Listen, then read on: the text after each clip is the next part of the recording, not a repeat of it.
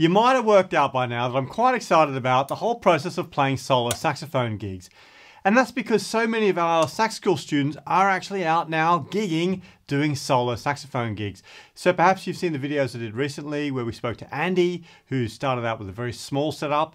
Then there's Wolfgang, who's doing jazz gigs. But today I'm talking with another one of our members, GB Sneed. He lives in Florida in the States. He's a sax school member and he's doing some really, really cool gigs as a smooth jazz commercial type saxophone player with a bigger setup. So this conversation is packed with great information. You'll learn why GB had to upgrade his PA system and how you can work out whether it's right for you to have a smaller system or a larger PA system when you're performing live. GB actually started learning when he was a police chief back in his old city that he used to live in and he started doing gigs there, but since he's moved to a new town. So check out the tips later on in this session where he explains how he had to go through this process to go and find new gigs and make a bunch of connections. There's some really great tips in there too. Oh, just before we dig into the conversation, don't forget if you haven't got it already, we've got a free PDF where we've distilled all the information from these three videos and a bunch of extra tips too. It's our guide to how you can play solo saxophone. It's completely free. The link to how you can get your copy of it is in the description down below. Go grab your copy. Let's dig into this conversation with GB. So, GB, I love the videos that you share in our community about your uh, performing. You're out doing a lot of really interesting stuff. And I know you're really into commercial music and your smooth jazz, that kind of thing. But I'd love to know how you got started with your setup. So, how did you, what was the first sort of setup that you put together for going out and playing live? You know, starting out in the 10 years ago, and when I started out, I didn't know what I was doing, uh, completely ignorant. Um, and the, my, my uncle who plays, he had this elaborate setup that was probably from the 1960s. And I knew that I didn't want to carry all of those big pieces of equipment around. And so I went out and bought a thump speaker and I plugged my thump speaker into my uh, computer and that was how I played. I didn't have a microphone, um, and it worked for the small little intimate coffee gigs that I was doing at the time.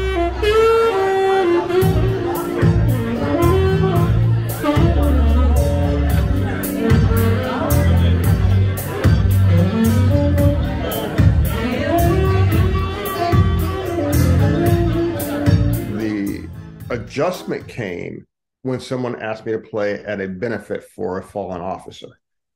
Um, there were 500 people in the room. Guess what? It didn't work. and I didn't know it until I was there. Um, because again, I was ignorant to it. I did not know what to expect. It worked for all my coffee gigs for the last up, up that point up to like a year and a half. And so I walked in with my little thump speaker and I plugged it into my computer, and no one beyond where I was standing could hear me. The other 490 people could not hear me. so I started looking and researching and um, found the Bose system. And at the time, I was you know working, and I said, you know what, I'm just going to make the investment, and that's what I did, and I love it. Yeah, brilliant. I mean, those Bose systems are so perfect for doing solo gigs. People use them all around the world for that reason. So that's interesting that that was the first upgrade from your small system, like we've seen some other members use. And the Bose system is clever because, I mean, it's really portable and it sounds great, but it's also got an integrated mixer in the back, right? It does. oh, it's small, it's, it's, small, it's compact, it's light. Um, it's got the uh, four plugs in the back that I can use. I plug in, so I plug in my computer, I plug in my uh, wireless mic, and I plug in his uh, mic to that I speak with, or if somebody wanted to come up and sing, they can use that as well. So those are the three uh, the three plugs that I use uh, consistently. Easy peasy, right? So when you say your computer, you're taking you're taking your laptop with you, and are you running all of your tracks off your laptop? I do, sir. Yeah. So uh, that's a really simple setup. Even though you've got your bigger speaker, which you obviously need to have mains power for, uh, you've got the flexibility of having you know, you can play a small venue with that too, can't you? But you can yes. also play in a in a much bigger room, uh, and uh, and still not that many cables. So, okay, a couple questions about that then. So, when you're using your laptop for your backing tracks, how are you playing your laptops? Are you using any piece of software to manage all of your tracks, or just do it like in iTunes, something like that? It's in iTunes. Um, and again, so now we're back to that whole ignorant. I, I, one of the things I enjoy about the community is that there's so much, uh, you know, wealth of information and people that do different things.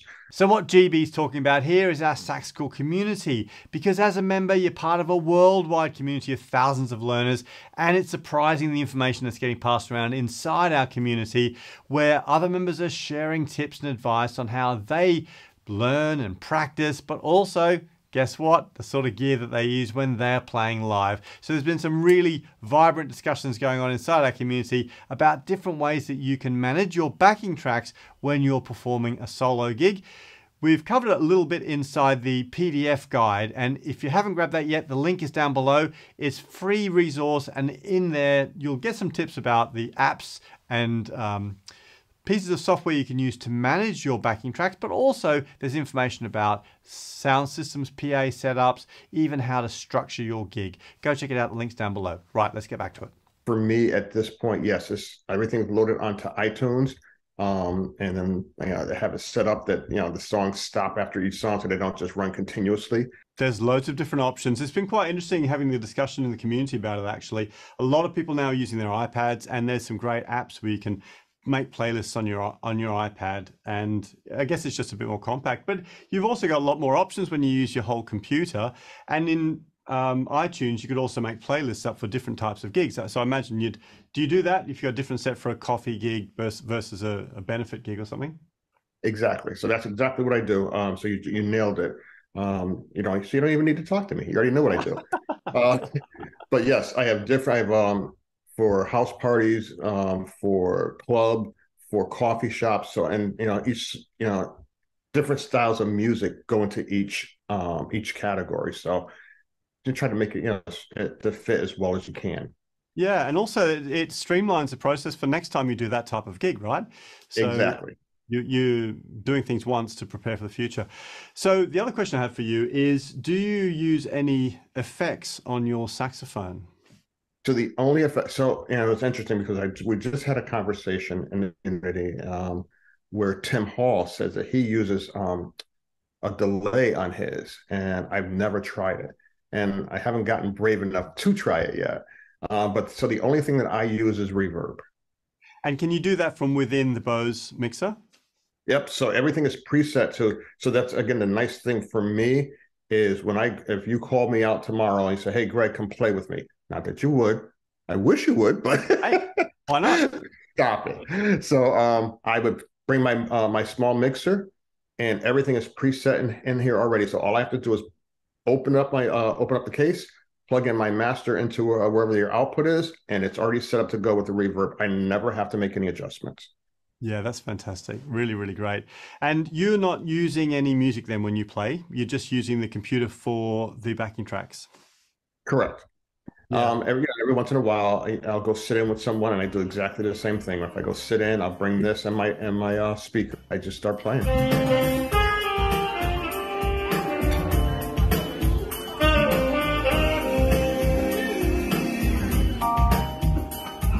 You've really got your setup streamlined, which is important when you're doing lots of gigs. Uh, so, what about? Uh, are there any things that you can imagine you might change with your setup? Have you got any uh, gear envy things you're looking at that you might upgrade to? Well, you, you know, we always have gear envy, right? And so there's an uh, upgraded um, uh, mixer that has eight eight outlets on it, and so I want it. I have no purpose for it because I don't have eight things that I plug in. I actually have the three, but because it's an upgrade as well, uh, as far as the, the mechanisms, um, I'm kind of looking at that. There's also a new Bose Tower as well that's newer than mine. Um, that the, like you said, the envy, the wish list. Yeah, um, it's shiny. Those Must are, be better. They're on the wish list. So if you were talking to somebody who was looking to do this now, so GB, they came to you and said, "Hey, GB, I'm going to go out and do lots and lots of gigs. Uh, what setup should I go for?" Would you suggest that they go straight for something like the Bose uh, L1 that you have? So yes, so um, just like with my saxophone, I bought my saxophone. I didn't know where, where I was going to go and how you know how I was going to be received, but I knew that I want in my mind what I wanted. I wanted to play bigger gigs. So I, I, I went out. My first and only saxophone is a professional saxophone. I should have done that initially with my speaker system, but I didn't. And so the next system I bought was something that would uh, supposedly carry up to four or 500 people, according to their printout. So I would say, yes, if you have the money and it doesn't have to be Bose, there's a lot of systems out there, but you want to get something that is capable of covering a larger venue. And you can always turn down the sound and play it in a smaller venue. So it's always better to to buy buy once instead of buying five pieces of equipment and upgrading each. Just jump, you know, just jump in and buy it right off the bat.